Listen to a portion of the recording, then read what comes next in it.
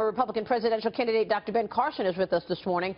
Dr. Carson, reports are suggesting that terror groups may be waiting to strike until it gets closer to the election. Got to talk to you about both of these points.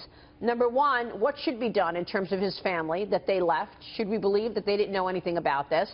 And now there's reports saying that let's wait to strike America again until we get a couple more weeks until the election. What do you think?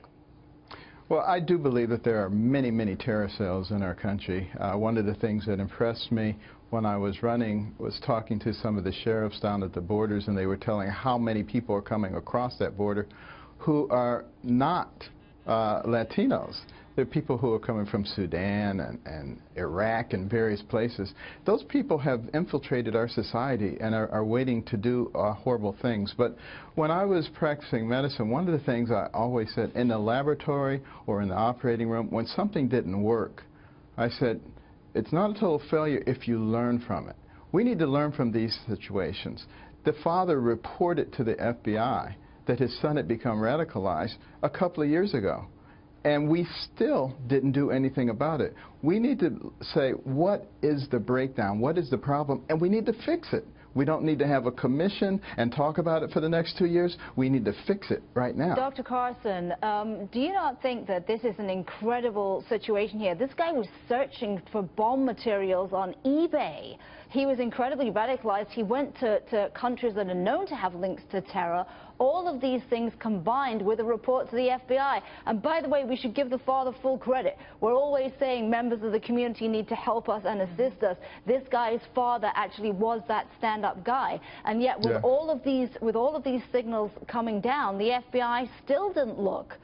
Yeah. Well, I mean, what does it take? Do you have to go out and say, I'm a terrorist and I'm going to kill everybody right now, here are my weapons? I, what does it take for them to actually move? And, and this is what I'm talking about.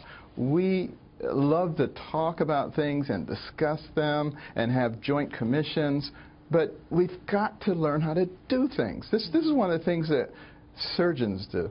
You know, surgeons, you know, sometimes are criticized because they say, they just want to cut. No, they want to deal with the situation. They don't want to endlessly sit around and talk about it. Right, with precision. Uh, Dr. Right. I was just going to say, though, it's easy to say that as a surgeon, don't you think? Because you're just in charge of yourself. You're not in charge of a vast bureaucracy that is impossible to change and move. Uh, I wouldn't uh, necessarily agree with that. Some of the uh, surgical procedures are extraordinarily complex, involving dozens of people uh, moving simultaneously in the same direction, and that has to be coordinated by the primary surgeon. Uh, real quick, Dr. Carson, in terms of immigration, this goes back to immigration and, and, and what's missed at the border, doesn't it? Uh, obviously, the border is a huge issue. And, uh, you know, here's the thing. A lot of the times we detain people at the border, and then ICE comes along and says, no, you must release them. And they tell the sheriffs, you can't even warn the people around you that you're releasing them into their community. It's almost like there are people in our government who actually are on the other side. So, you know, right. I don't want to think that. it feels that. that way sometimes.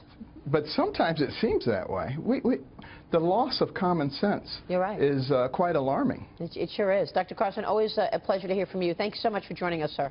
Thank you, Mary. We'll see you soon. Dr. Ben Carson.